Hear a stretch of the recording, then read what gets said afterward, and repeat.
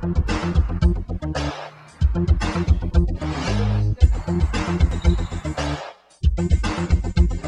guys, this is Girish Khanna. I'm from Mumbai, India. Uh, I'm studying my international business management here at Nyenrode. Uh, the reason I chose Nyenrode is the fact uh, that I was contemplating doing an MBA for quite some time. It was a chance meeting with an alumnus of the college that presented an idea of doing an MBA here at Nyenrode.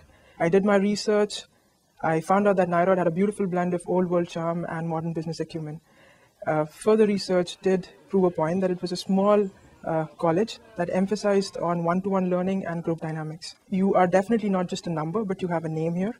As much as you learn from your professors, uh, you learn from your peers. Uh, there's a lot of learning that happens off campus, which is when you uh, do your group assignments and otherwise work with other people. The emphasis in teaching here is not only on the fact that you incorporate the best of the business practices happening in the world, but it's also on the fact that you stay rooted to your own tradition. Well, I am very ambitious in the terms of the way that uh, I have always had a clear defined path where I wanted to go ahead. Um, I'd like to be an international corporate business executive, and coming to Nyenrode is definitely uh, the first step towards that direction. Um, after graduating, I look forward to gaining more experience, more work experience, primarily in Europe, China, and the United States of America.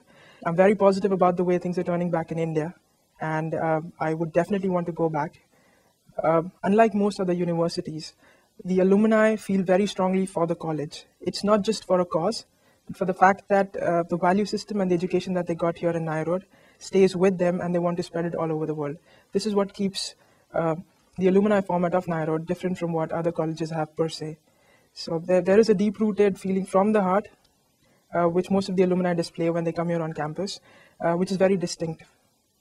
I've only been on campus for a month and a half now. And uh, very candidly, I, I, get sad to think of the fact that I'll be soon leaving this campus in about 13 months. Taking away from here would be a lot of beautiful memories.